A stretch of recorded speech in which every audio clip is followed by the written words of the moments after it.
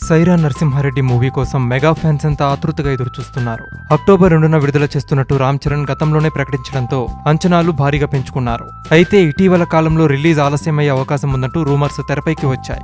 Computer graphics work పూర్తి కాలేదని release మరింత ఆలస్యమయ్యే అవకాశం ఉందని సంక్రాంతికి ప్లాన్ చేస్తున్నట్టుగా వార్తలు రావడం ఈ విషయంలో చిత్ర బృందం నుంచి ఎలాంటి అఫీషియల్ సమాచారం లేకపోవడంతో మెగా ఫ్యాన్స్ అందరూ అయోమయంలో పడ్డారు. తాజాగా ఈ కన్ఫ్యూజన్ని తొలగించే ప్రయత్నం చేశారు మెగాస్టార్. తన కోడలు ఉపాసన రంచేస్తున్న చేస్తున్న బీ పాజిటివ్ మ్యాగజైన్ కోసం స్పెషల్ ఫోటోషూట్లో పాల్గొన్న చిరంజీవి అనంతరం ప్రత్యేక ఇంటర్వ్యూ ఇచ్చారు. తన లైఫ్ స్టైల్కు సంబంధించిన విషయాలతో పాటు సైరా మూవీకి సంబంధించిన విశేషాలు ఆయన నుంచి ఉపాసన రాబట్టారు. ఈ సందర్భంగా సైరా రిలీజ్ విషయంలో వచ్చిన రూమర్స్ పై చిరంజీవి స్పందించారు.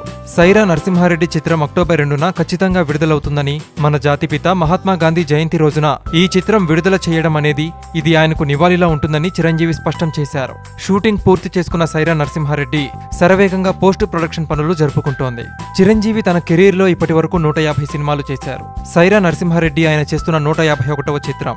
ఇప్పటి వరకు చిరంజీవి చేసిన సినిమాల్లో ఇదే బిగ్గెస్ట్ మూవీ. స్వాతంత్ర పోరాటం నేపథ్యంలో సాగే నిజ జీవిత కథతో ఆయన చేస్తున్న తొలి చిత్రం ఇదే.